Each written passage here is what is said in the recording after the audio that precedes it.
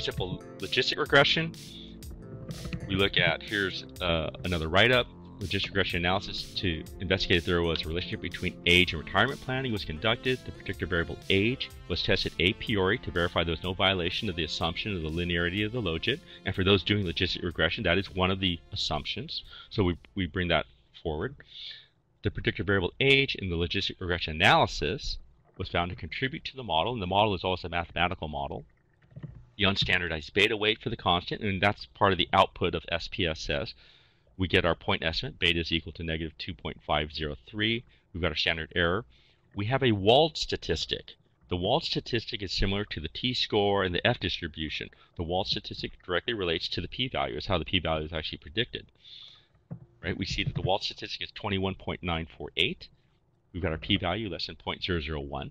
And then here's our interpretation. The unstandardized beta weight for the predictor variable, beta equals 0.296. Standard error, Wald less than 0.001. The estimated odds ratio favors an increase, and this is our interpretation, favors an increase of nearly 35%, where the exponentiated beta equals 1.345, which is our point estimate, and then we've got our population estimate, 95% confidence interval range for retirement planning for every one unit increase in age. And that last sentence is really our interpretation.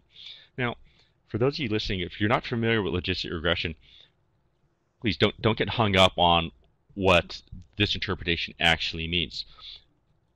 What I'm showing here is really the components that were included. So included in the actual write-up. For those of you doing simple logistic regression, you may recognize these and say, oh yeah, I, I understand and I get it. But for those who are not familiar with logistic regression, like I said, don't don't get too hung up on, you know, what what does this interpretation actually mean? But these are just the individual components that you can see based on a variety of different statistical tests what to really include.